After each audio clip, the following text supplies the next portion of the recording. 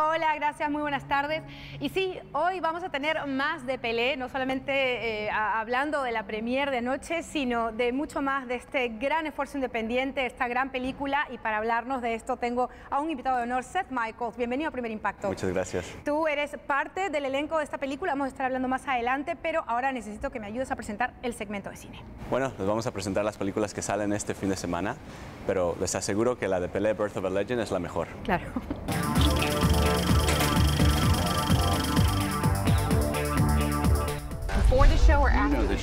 George Clooney y Julia Roberts protagonizan Money Monster, otra película sobre los grandes engaños en Wall Street.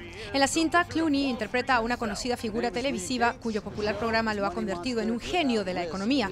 Él y su equipo, que incluye a Roberts, su productora estrella, serán tomados como rehenes por un inversionista que irrumpe en el estudio de grabación furioso porque las inversiones que recomendaron se han desplomado. Mientras luchan por salvar su vida, descifrarán la compleja madeja que domina a Wall Street. Kevin Bacon llega en la cinta de horror y suspenso The Darkness, en la que una familia regresa de unas vacaciones en el Gran Cañón con una peligrosa fuerza sobrenatural que se alimenta de sus temores y vulnerabilidades. Con las actuaciones de Kevin De Paula, Vincent Donofrio y Diego Boneta, Pelé, Birth of a Legend, cuenta la inspiradora travesía del futbolista más aclamado de la historia, desde su niñez en una empobrecida favela de Sao Paulo hasta su ascenso a la gloria. Veremos cómo logró convertirse en un prodigio del balompié, representativo de las esperanzas y sueños de un país al llevar a Brasil a su primera Copa Mundial en 1958.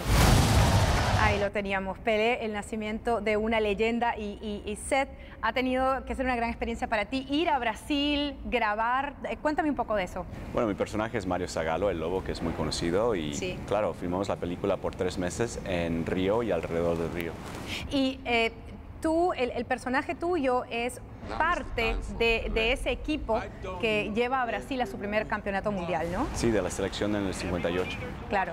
La experiencia de grabar en Brasil, la experiencia de conocer a Pelé, cuéntame. Bueno, en, realmente, en realidad la gente brasileña es súper linda. También como estamos filmando una película de la vida de Pelé, que eh, para él es una leyenda, estuvo increíble y la gente le encantó que estuviéramos ahí filmando. Llegaste a conocer a Pelé, me imagino. Sí, dos, tres veces. Increíble. Una persona muy humilde y muy amable y súper, súper amigable.